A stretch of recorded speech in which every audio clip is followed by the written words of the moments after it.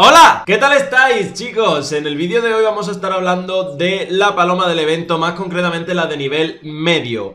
Sé que muchos de vosotros está teniendo problemas con ella, también con la del clan sobre todo, y con muchos otros bosses del juego. La verdad es que el modo historia pega un subidón de dificultad considerable, así que es comprensible.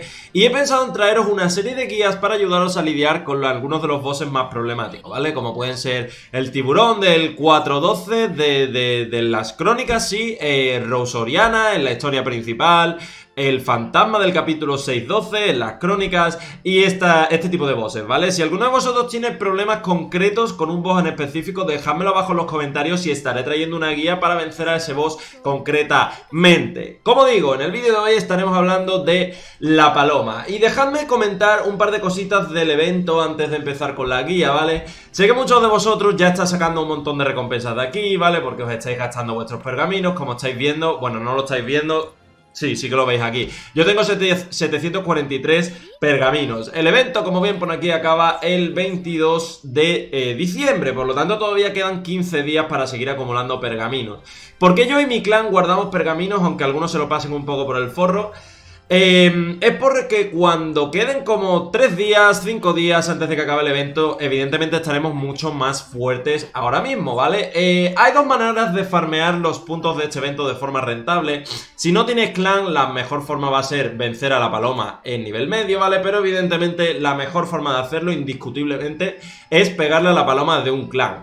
Haciéndole un daño decente a esta paloma ya te está sacando como 10.000 puntos, ¿vale? El máximo son 25.000, pero fácilmente se sacan 10.000 puntos eh, más el bonus de los personajes que tengáis, ¿vale? Ojito.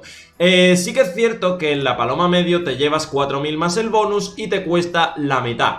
Pero es decir, gastándote aquí como 60 pergaminos estás sacando como 8.000 o 8.000 y pico, ¿vale? Mientras que aquí gastándote los 60 con un daño medianamente decente ya te está sacando 10.000 más el bonus de personajes, ¿vale? Así que es, mejor hacerlo en un clan. Si no tienes clan, únete a uno random donde no se lo estén tomando muy en serio y al menos tú sí pégale a la paloma de aquí porque vas a ganar más puntos individualmente hablando, ¿vale? Si estás en un clan competitivo, haced como nosotros, esperaos, ¿vale? Acumular los pergaminos y eh, a las palomas del nivel beginner y mid, hacerlas solo una vez a cada una para completar las misiones relacionadas con vencer a estos bosses, ¿vale? Ahora bien, la paloma mid, ¿vale? Que sé que hay mucha gente que se está farmeando el evento de esta manera porque no tienen un clan. Y efectivamente, si no tienes un clan, como ya he dicho, esta es la mejor manera de farmearte el evento, ¿vale? Vamos a hablar de mi equipo. Para hacerte la paloma más fácilmente, ya sea en mid, ya sea en beginner, ya sea en el clan, necesitas un equipo completamente azul, ¿vale? Eh, si tratas de hacerlo con tu equipo principal, porque eres de esos que no estás subiendo los elementos, eh, vas a tardar muchísimo más, vas a necesitar tener mucho más nivel de poder que el recomendado para poder hacerte al jefe. Pero esto se aplica a todo, ¿vale? Al contenido del juego también. Eh, Evidence in Shadow es un juego en el que es muy importante tener una cierta variedad de elementos en los personajes para poder progresar de manera cómoda o si estás más o menos cerca del nivel de poder recomendado, ¿vale? Hablemos del equipo azul. El mejor equipo azul que existe hasta el momento, ¿vale? El que sería top perfecto de equipo azul para hacerse a la paloma sería Alfa. En vez de Cid, deberíamos llevar a Epsilon o a Delta, ¿vale? O sea, sería Delta la que iría en la posición de Cid. Luego llevaríamos a Alexia. En vez de Eta, llevaríamos a Epsilon. Y este sí, el tanque, el healer, perdón, tiene que ser Beta, Bright World, la de rango A. Porque si no me equivoco, no hay ningún healer azul eh, más interesante hasta el momento, ¿vale? O sea que os recomiendo que para el evento esta healer la subáis sí o sí.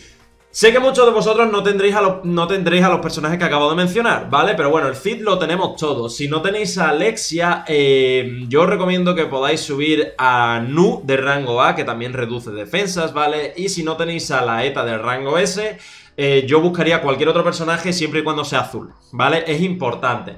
También os digo, lo vais a tener mucho más sencillo cuando tanto Alpha y Cid sean rango 5. ¿Vale? ¿Por qué? Porque estos dos personajes ambos aumentan el daño que infligen todos los personajes azules. Cada uno creo que en un 12,5%, así que llevándolos a los dos tienes un 25% más de daño con un equipo azul. Así que todo esto, aunque parezca complicado, es eh, importante tenerlo. Yo sé que no todos vais a tener a Alpha, ¿vale? Utilizad a uno de los tanques free to play, pero al menos a Cid sí que lo tenemos todos y es importante que esté a rango 5, ¿vale? Para que incremente el daño. El tema de los equipamientos, evidentemente no todos vais a tener la suerte de haber sacado equipamientos SS, ¿vale? Yo tuve la suerte de sacarme este, esta especie de anillo, ¿no? O como se le llame, que la verdad es tremendamente poderoso, aumenta el daño infligido en un 8% y encima es genérico, ¿vale? No hace falta que lo lleve ningún personaje concreto. Así que yo esto se lo pongo a Zid, ¿vale? Que después de Alexia, que ya tiene su arma exclusiva, es el personaje que más daño me mete, ¿de acuerdo? Así que nada, esta sería un poquito la, la, lógica detrás de mi composición Y ahora os voy a enseñar el tema de la mecánica para vencer a la paloma, ¿vale? Porque la paloma tiene una mecánica muy concreta, pero una vez que le pillas el tranquillo es muy, muy fácil de vencer Vale, pues parece que esto ya empieza. He puesto la velocidad en 0,5, ¿vale? Para que lo veamos muy lento y podamos ver todo lo que, está, lo que está pasando. Os recomiendo que hagáis lo mismo si es la primera vez que os enfrentáis a la paloma. Y ahora bien, tenemos que tener tres cosas en cuenta. La primera de ellas es que la paloma tiene AOEs, pero siempre y cuando vuestro equipo sea full del elemento azul no deberíais tener ningún problema con esto, ¿vale? Lo segundo, cuando la paloma hace la pose del árbol, se va a incrementar el ataque y la defensa, por lo tanto nosotros vamos a querer meterle el daño antes. Y lo último que hay que tener en cuenta es que desde el momento en el que se pone a destellear en rojo y el momento en el que lanza la ulti pasa un buen rato. La paloma tarda en lanzar la ulti. Por lo tanto, chicos, no os precipitéis con las reducciones de defensa y demás. Apuradlo un poquito. De todas maneras, ahora os voy a decir cuándo lanzo yo la reducción de defensa, ¿vale? O sea, la reducción del daño. Ahora... Fijaos siempre en la vida de la paloma por debajo, ¿vale? Porque ahí es donde le salen los buffos y debuffos que tiene activos. Ahora mismo la paloma tiene un debuffo del ataque y un debuffo de la defensa, ¿vale? No sé si se lo ha metido el debuffo Alexia o Alfa, ¿vale? Ahora es el momento ideal, creo que estamos en el minuto 0043, cosa así, para lanzarle todo nuestro strike combo. Ahora bien, evidentemente queremos que sea Alexia la última que salga atacando. De hecho, lo ideal sería Tres últimas opciones, ETA, Cid y Alexia.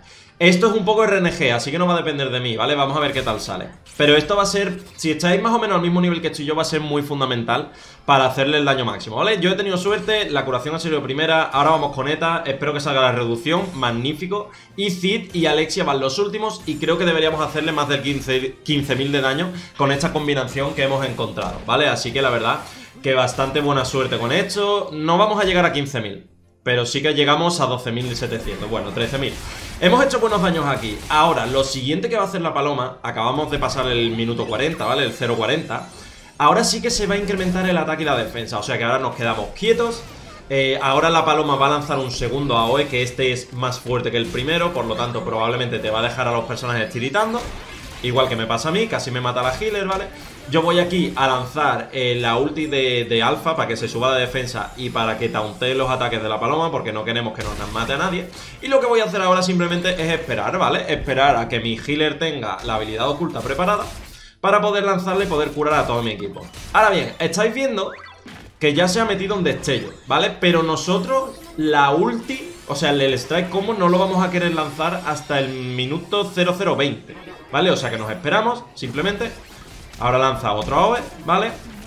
Nos esperamos, nos esperamos, nos esperamos al 20 y... Ya lo lanzaríamos Y necesitamos que la reducción y la curación vayan al final, ¿vale? Por lo tanto, vamos a intentar lanzar primero todos nuestros combos de daño Perfecto Ahora hago una curación del 30% y una reducción del daño del 40%, ¿vale? Queremos que la reducción del daño sea lo máximo posible para que nuestros personajes puedan conseguir aguantar a la ulti de la paloma, porque si no, no llegamos, ¿vale? A hacerles los daños después. Así que vamos a ver, hemos hecho una buena curación. Ahora debería lanzar la ulti ya de ya. No sé por qué está tardando tanto, de hecho. Lánzala ya, joder. Vale, aquí la lanza. Y los, la reducción de, de daño seguía activa, o sea que en teoría deberían aguantar todos bien.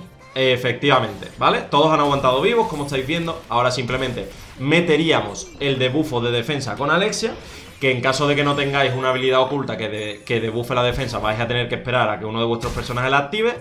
Y ahora ya metemos todo, ¿vale? Metemos todo. Porque sí, habéis visto que tiene el, aumento de defensa activo, pero también tiene el debufo. Y la verdad es que creo que tratar de esperar a que se le vayan los buffos no, no es conveniente, ¿vale? Porque no llegas con el daño. O sea que simplemente cuando tenga el debufo aquí ya le metes todo, tío.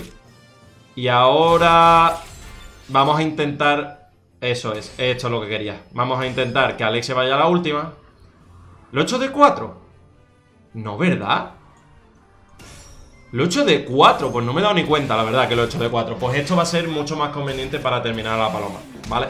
El tema del strike combo siempre va a ser un poquito RNG, ¿vale? Porque vas a depender de... Ahí la tenemos no, le, no, le, hagáis caso al marcador porque a veces se buguea y se queda en cero, pero creo que le hemos vencido en el 0011, o sea que aquí sacaríamos las tres estrellas, ¿vale? Si no me equivoco. Efectivamente, llegamos con los 50 segundos a tiempo y así es como derroto yo a la paloma. Un poquito así eh, como rozando el límite, ¿vale? Pero es que tened en cuenta que estoy exactamente en el nivel recomendado, o quizá tengo 150 puntos menos del nivel recomendado o cosas así, ¿vale? Pero así es como lo hago yo, si alguna vez los strike combo os sale mal, simplemente recordad que tenéis la opción de darle a retiraros, no perderíais ningún pergamino y lo podéis volver a intentar hasta que os salga tal y como lo he hecho yo, ¿vale? Espero chicos que estos consejos os sirvan, que este vídeo os haya gustado, si es así podéis dejar un like, un comentario, todo lo que queráis. Por aquí os voy a dejar otro vídeo, otra videoguía de Eminence in Shadow que estoy seguro de que os va a ayudar un montón y nos vemos en el próximo vídeo. Tchau, tchau!